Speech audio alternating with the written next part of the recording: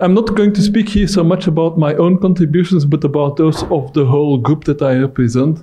And that is the CLEA VUB group. VUB stands for Vrije Universiteit Brussel, which means Free University of Brussels. And what CLEA is, we will immediately explain. So CLEA is um, as an abbreviation of the Centre Leo Apostel. And uh, it's a transdisciplinary research group. Transdisciplinary means that we really bridge all the disciplines. We do not belong to any particular department or faculty. We are kind of in between different uh, faculties at the university in Brussels. And that group was founded in 1995 in honor of the philosopher Leo Apostel. So it was also the, the year that Apostel died, but he kind of defined the mission of the center. And because Apostel was a famous philosopher who got kind of the equivalent of the local Belgian Nobel Prize, he decided to donate the money of that prize to the university in order to create this kind of center. So what is our mission? First of all, construction of integrated worldviews. So what is a worldview? A worldview is a view on the total. We don't mean worldview so much in the meaning of the particular perspective of a particular group. A worldview is really something that is a kind of an encompassing, meaning-giving system that answers all the big questions. Where do we come from? Where are we going to? What is the world? How can we know things? Which values should we follow? How should we act? Uh, and why do we need such integrated worldview? It was because Apostel noted that the world is uh, characterized by a fragmentation of knowledge, especially in sciences. You have the disciplines and subdisciplines and ever more specialized domains and ever more specialized theories. And that creates a sense not only of fragmentation, but of this whole VUCA world. Things are uncertain, things are confused, things are ambiguous, people feel alienated, they have no longer a sense of meaning. So, what the worldview in the sense of Apostel is supposed to do is to provide an answer to all these questions, to provide an encompassing picture of the whole. And what Apostel also wanted was that not only we would try to integrate results from the different disciplines, the scientific, the academic disciplines, but that we would also provide deep dissemination. So in that respect, our, well, our uh, approach is very similar to one of the Human Energy Project. So at the moment, our group, it's about 30 affiliated researchers. I mean, you can't really count because there are people coming in, coming out, people that are working state for us, people that are affiliated, people that are there part of the time. It's difficult to say. It does not have very clear boundaries. On our, on our website, you can see a list of names, but some names are missing there, and maybe some names that are there are no longer there. So it's a little bit a problem in general with uh, research department, but especially in ours because it is so wide ranging. And I think that is the interesting part about our center, and that I think is what makes it really unique, is that you find people there from all possible backgrounds. So that means the physical sciences, the biological sciences, the technological sciences and engineering, the social sciences, the humanities. So you will have people with a background in philosophy, in psychology, in economics, in physics, in medicine. You really find a very broad range of people. And what's also, I think, interesting is that uh, most of these people, they're not Belgians. It's a center in Belgium, in Brussels, which is the capital of Belgium. But most of these people have come there because somewhere on the internet they found our work, they were interested. Especially my publications have made quite an impression on lots of people over the course of the decades. And these people then typically send me an email, and if, if, I have the impression that's an interesting person, I invite them, and then they give a seminar, and sometimes they remain to make a PhD, or sometimes they do a postdoc, or they uh, are affiliated in some other way. So, in that sense, it's a very interesting bunch of people, and that means that we are lucky to have some very talented people with very diverse backgrounds, and some of these people I will now present their work uh, here. So, what is our guiding philosophy? So, we have this philosophy that we want to build a, an integrated worldview, but what is the foundation of that worldview? That is the idea that the universe is an evolving system, so evolution, obviously, and complexity that through evolution, we become more and more complex. So matter, life, intelligence, consciousness, society, all these kind of levels of organization, we see these emerge to a process of self-organization. So there is no, the, the, the, idea is not that there is some imposed blueprint either by some god that has designed the universe, nor by some kind of laws of nature that are there and that are determining everything. The, uh, the, the, the, view is really self-organization, things spontaneously assemble what uh, I just heard Teilhard called self-assembly. The second principle of our philosophy is what we call thinking beyond boundaries. So this transdisciplinarity, that means that you go beyond the boundaries between disciplines. In science, you typically have physics is about about matter at the level of particles, and then chemistry about level, uh, matter at the level of molecules, and biology is about matter at the level of cells, and then you have psychology and sociology, etc. We we do not want to take into account these boundaries. So the people, whatever background they are, they are typically working on more than one of these different domains. So we believe that research should not be restricted to existing ideologies, paradigms, theories. Uh, we need to include as many different perspectives as possible. Also, in practical problems, we need to take into account different stakeholders. So we put a lot of emphasis on this free thinking attitude, this uh, thinking beyond boundaries attitude. And thinking beyond boundaries means both thinking that is creative, that means out of the box, and thinking that is critical. That means you can have all kind of wild ideas, but in the end, you should be ready to criticize your own ideas and to reject them if it turns out that they don't work. So some examples of things we have been doing research on, of course, on the internet as a global brain, maybe less well known, that's a different group on which I'm indirectly connected, uh, quantum cognition, that's to say looking at cognitive processes in the brain as if they were quantum processes, happiness and well-being, cognition and consciousness, uh, how can we educate people into thinking, cybernetics and complex adaptive systems, that's more my specialty. A more recent project is the origins of goal-directedness, which is also the idea of the origin of life. What is the first goal-directed kind of organization? And uh, uh, quite recently, uh, what we call art science, which is a kind of a attempt to merge the methods of art and science. And we have a number of artists working with us that are quite well informed in science, but also we have scientists that are uh, artists, uh, maybe not at the professional level. So some of our achievements, well, uh, in those uh, 25, you know, almost 30 years that we exist, we, according to the database of the VUB, I don't know how precise it is, we have some 2,000 scientific publications. Lots of these got lots of citations. Uh, we are uh, publishing our own journal called Foundations of Science, which is a so-called Web of Science journal, which means that it has an impact factor. We also organize some 20 research sem seminars each year. Uh, we record the seminars on our YouTube channel, and these are long, difficult scientific topics, but they get quite a lot of views. And we have a number of uh, funded projects, and that is always a problem in science. It's not easy to get funded. So we were lucky to get some big funds from the Templeton Foundation, from uh, the Milner Foundation. But as always, when you do especially this kind of research that's out of the borders, outside of the typical boundaries, it's difficult to get money for that. To give you an idea of the kind of thing we have been doing before we knew that human energy existed, these are some of our representative publications that are related to human energy, like the, the, the first book, Worldviews from Fragmentation to Integration, it's a bit our defining program of this construction of integrated worldviews.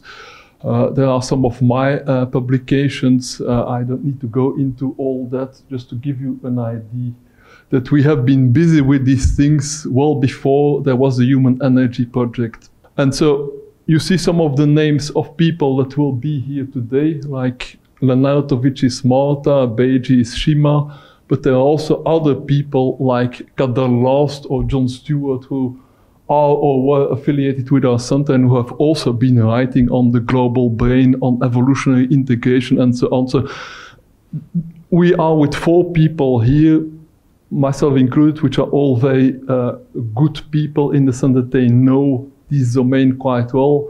But it's, I wouldn't say the tip of the iceberg, but I mean, there are more people like that in our center.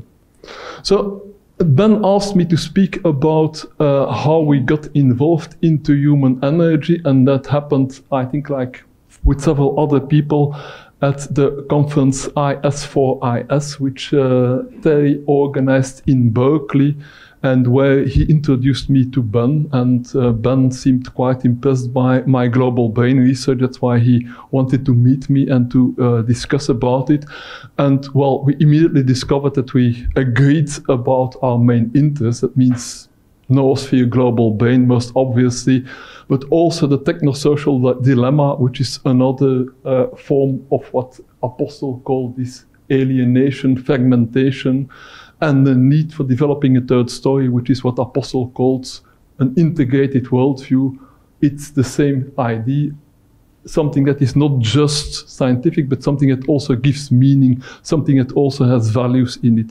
So we started to collaborate. Uh, so human energy has funded some of our research, but on the other hand, we have also done our own research without uh, uh, human energy funding precisely because the two topics are so close that, yeah, you can't really say which one is for human energy, which one is for CLEA in general. It's all very close. So then I will uh, review the contributions uh, specifically that we have done to human energy since the beginning. And I think the, maybe the most obvious one that's mostly the work of Clément Vidal, which I will go into more detail later, was an update and clarification of Teilhard's vision of the noosphere and making the link with my own older work on the superorganism, the global superorganism, the global brain. Uh, more recently, I will hopefully have the time to speak about it. I have provided a new conceptual foundation, which I call relational agency. Another important new idea we had that work that I did mostly with Shima here, that's noospheric consciousness, that's applying neuroscientific theories to the internet.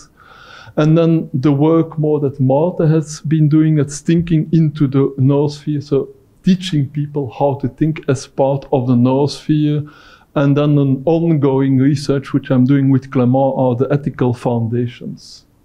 So here are the uh, four people present here at uh, the workshop, and I'll go in a bit more detail about each of them.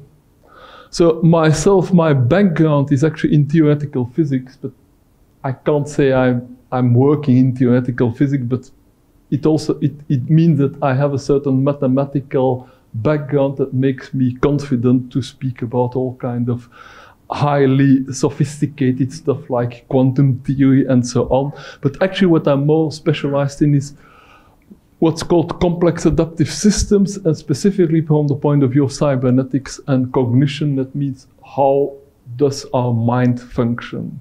So I am at the moment the director of the Centre Leo Apostel. That is actually not that long ago. That's about four years, I think.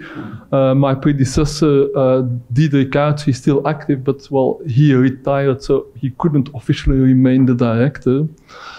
Uh, I'm a member uh, first of the advisory board of Human Energy, and now uh, uh since short since a few weeks ago also of the scientific uh, steering committee. And so what would I say if I had to summarize my own major contribution? It is this theory of major evolutionary transitions.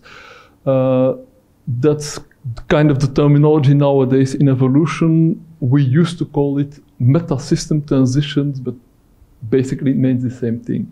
So I think you know by now what the major evolutionary transition is.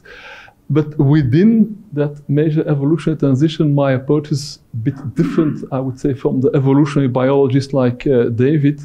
It's a complex adaptive systems approach, which is specifically uh, uh, looking at self-organization.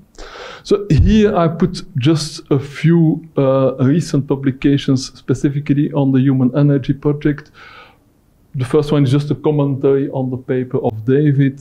Then the relational agency, which is, I think, a very important paper, and I hope there will be time to speak a little bit more about it. And then the third one will be an, a, a more popular version, which we're still working on.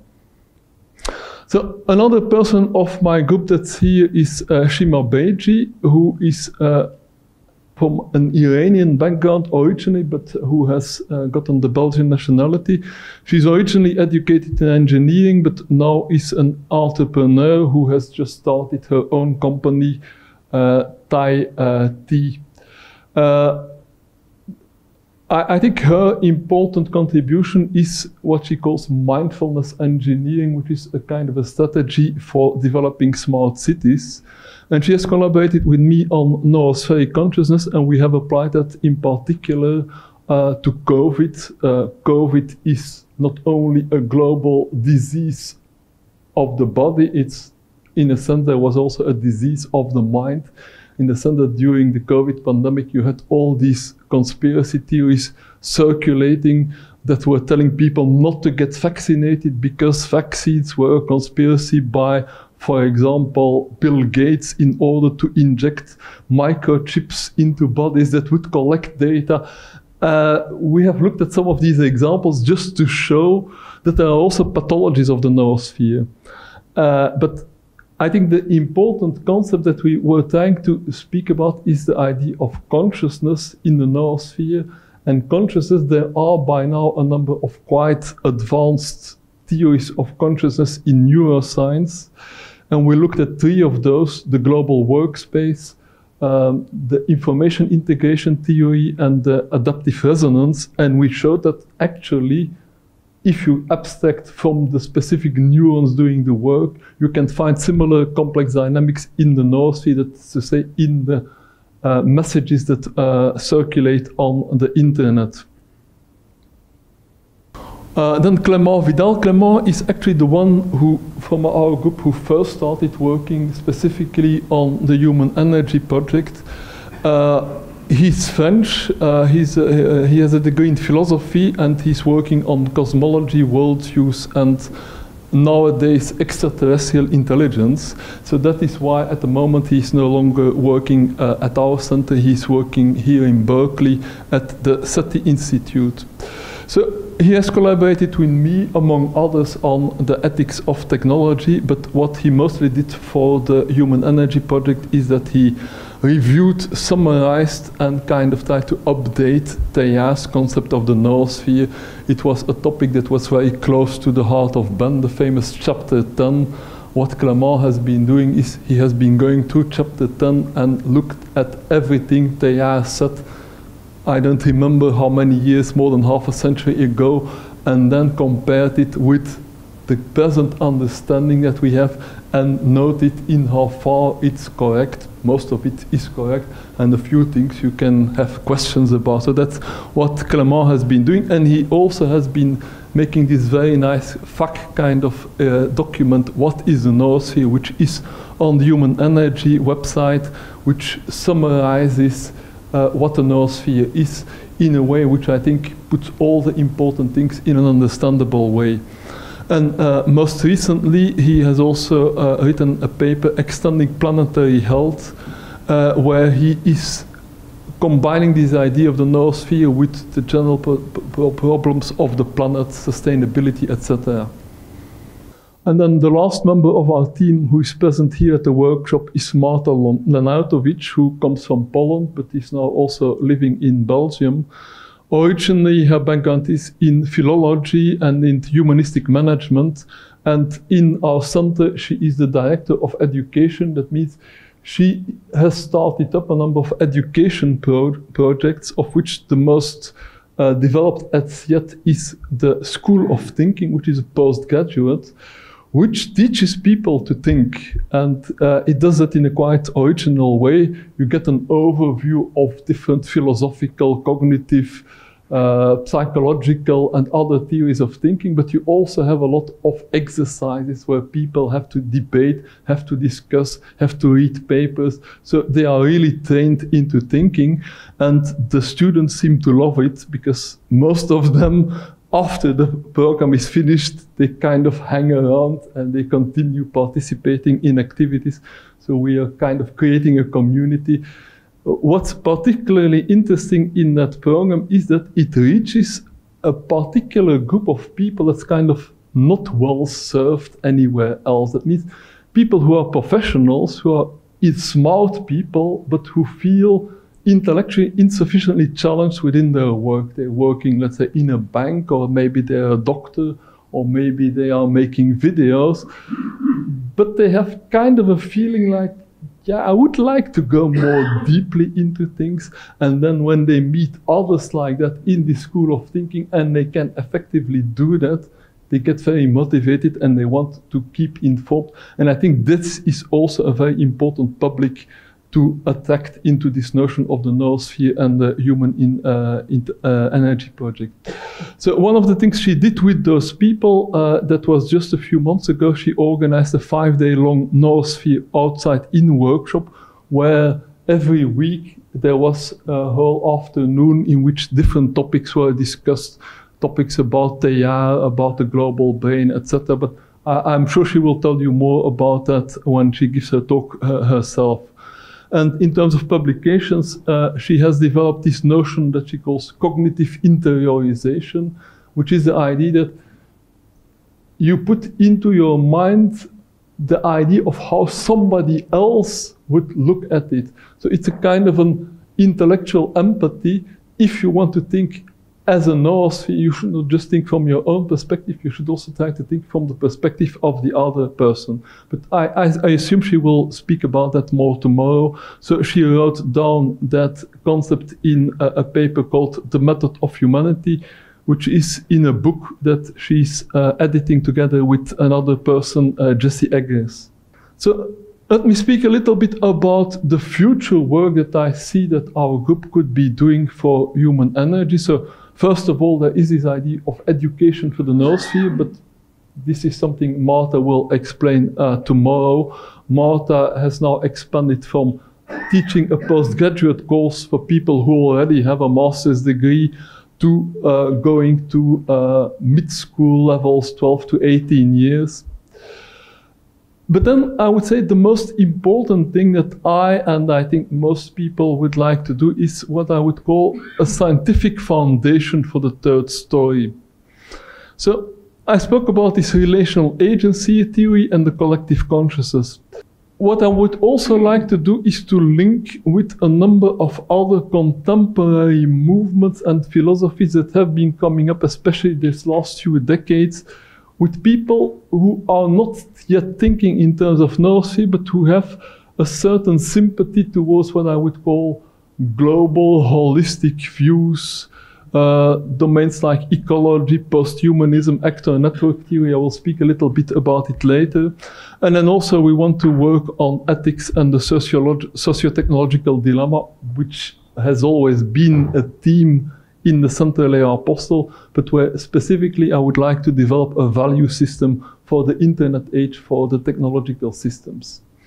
So since I have a bit more time, I will try to give you a kind of a brief view of what I call relational agency. So a relational agency, it's a new term. I wrote a paper with that title a year ago. It's finally going to be published, apparently. Uh, the idea is a bit older. I started discussing it with Shima and with others. And the idea is that instead of looking at organisms and superorganisms, you look at agents and the relationships with other agents, and then the relationships between agents can become super agents. So, what is an agent? An agent can be almost anything that acts. So that makes it, in a sense, easier than speaking about organisms. An ant could be an agent, a cell could be an agent, an institution could be an agent, a robot could be an agent, but actually, even an atom can be an agent. The way I define it, anything that interacts with other things can be described as an agent. And these agents interact because whenever one agent acts, that means it changes something in its environment, and that will have an effect on whichever other agent is in that same environment. So that's, that other agent observing the result of the action will be challenged to act. So I call this propagation of challenge. A challenge for me is not something negative. Challenge can be negative, can be positive. A challenge is something that incites an agent to act. A challenge challenges you to do something. So one agent acts, it creates a situation that either is a problem for another agent or is an opportunity for another agent, but that second agent then is inclined to act in turn, which creates a challenge for one or more other agents, and like that, challenges propagate. Like I post something on the internet and somebody reacts to it, and then somebody reacts to the reaction, and then somebody posts that reaction to another uh, uh, forum, and so on. Things tend to propagate. So the idea is that you have a propagation of activity, and this propagation may either die down and stop, or it may become self-sustaining. So self-sustaining propagations of challenges, that means that at some moment you get an interaction pattern that becomes stabilized, and a stabilized interaction pattern I call a relationship, like uh, I need something, I ask it to you, and you give it to me, and I'm happy with what you gave me, and then I need it again, and I again ask it to you, and you again give it to me, after a while, we establish a relationship that I know that whenever I need this particular thing or this particular help, I can ask you, and you know that if you want my help for something, you can ask it to me. So a relationship is a kind of a stabilized interaction where two agents develop a stable synergetic connection. So, and it is these connections that stabilize that produce then an organization, and that for me is the basis of self-organization. Why do I speak about agents? Actually, because in science there is already for a while uh, a trend of what are called agent-based models. That's a method of computer simulation that turns out to be extremely handy for complex systems. What you do is, instead of describing a complex system as a whole of differential equations with different variables that are the one dependent on the other, if you do it like that, very soon it becomes unsolvable. Even the biggest computer can't solve it. So what do they do? They define agents, which are things that, use so-called condition action rules. The agent notices a particular condition, and in that condition, it knows to perform a particular action. So agents are basically collections of rules and the rules tell the agent, if you perceive this situation, then you do that action. And that action typically creates a new condition, which then makes another agent act. So challenges propagate, and the agents become dynamical systems. You get the dynamics of complex interactions, and these are the famous multi-agent simulations, where the agents could be people on the stock exchange, or they could be ants in an ant hill, or they could be uh, uh, uh, human civilizations. By now, there are millions of agent-based models or multi-agent simulations, and that um, computational paradigm is used to describe something which is called an complex adaptive systems. That is that if you put a lot of agents together, you let them interact, something happens, and what happens typically is a self-organization. So these are the, I would say, the hard science versions, but now also in the soft sciences, in the social sciences, and in the humanities. Since recently, there is also this paradigm of what I call networked agents. And maybe the most famous one is called actor network theory, which was originally proposed by a well-known philosopher, sociologist, Bruno Latour. And what he did is he was analyzing complex evolutions. Like, for example, uh, how did we first get nuclear energy? And then when he analyzes that, he notices that it's not just a question of the right person on the right moment, but that person depends on other people, depends on institutions, depends on availability of resources, depends on the available of technologies. And all of these elements, the technologies, the institutions, the people, the knowledge, he calls actors, which is basically another term for agents. And all of these depend on each other, so you have these networks of agents. And the interesting thing of this approach is that, unlike a typical social science approach, agents don't need to be people, they don't need to be social.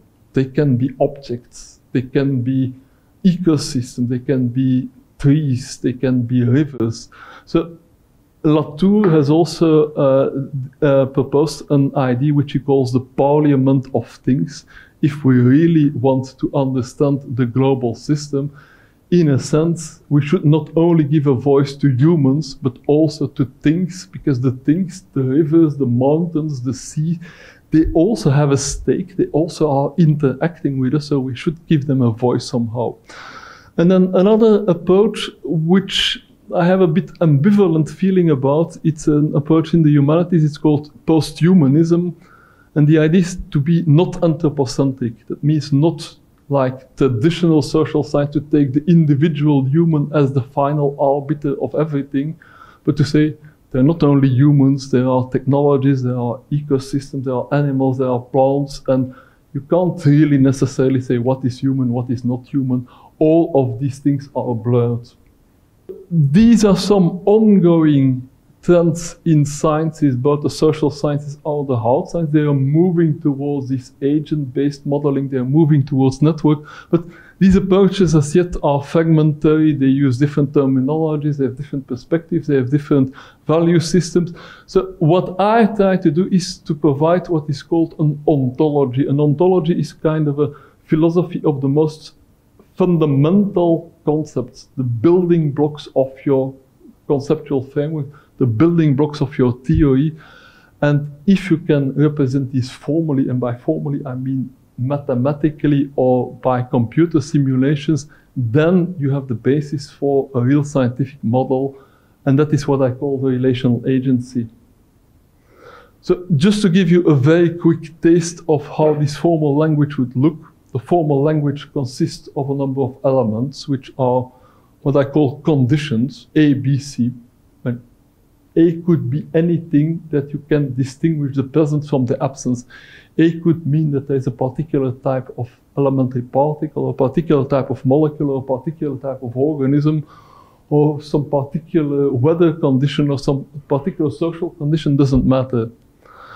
And then conditions change, so it's a process ontology that means the essence is changed things appear or disappear. So a condition can appear, a condition can disappear, a condition can be transformed into another condition, and then most interesting, a combination of condition is transformed into a new combination of conditions, and then you get this notation A plus B gives C plus D. That's a typical notation using chemistry for chemical reaction. And then you get to a formalism that is called reaction networks, and these then can be analyzed mathematically. So I don't have the time here to tell you how it's analyzed, but I want to give you just one intuitive example.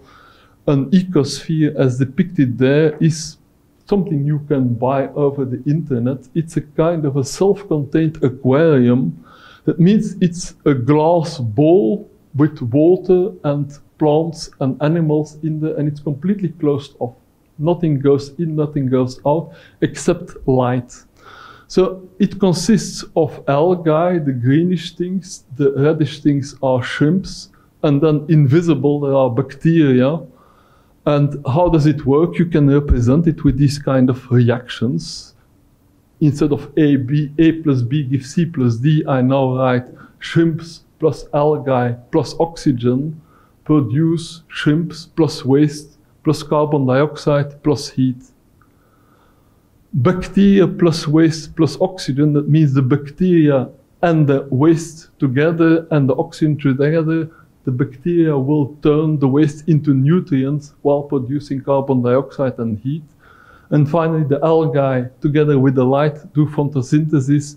They use the nutrient produced by the bacteria, they use the carbon dioxide, turn it back into oxygen, and they multiply so that the shrimps have more algae to eat.